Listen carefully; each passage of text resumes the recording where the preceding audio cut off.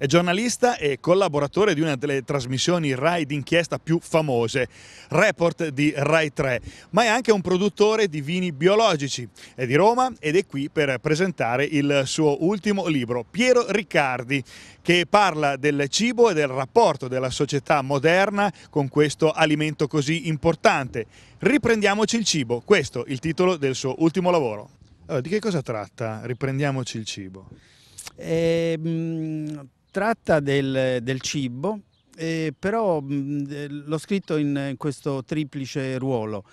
Eh, come consigliere della, della, di una BCC locale del Lazio, come eh, produttore di vino e come giornalista di report per il, per, quale, eh, per il quale programma ho seguito molte inchieste sull'agricoltura.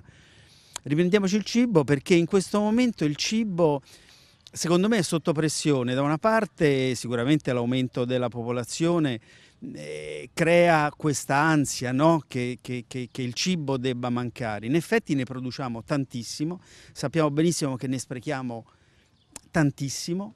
Eh, basti pensare che equivale al PIL della Svizzera lo spreco di cibo mondiale, quindi parliamo di cifre, di cifre mostruose. Ne produciamo tanto, spesso anche a basso, ormai con, con molta facilità eh, consumando meno terra, ma aumentando molto il consumo di acqua, il, il, il degrado della terra, il, il, consumo di petrolio, per cui spesso consumiamo più energia di quanta ne riusciamo a ricavare. E, um, quindi il problema non è tanto che manca il cibo, è, è che c'è una quantità enorme di cibo che spesso è di bassa qualità, e ecco, sul cibo c'è una, una, grossa pressione. E, mh, riprendiamoci il cibo perché dobbiamo riflettere.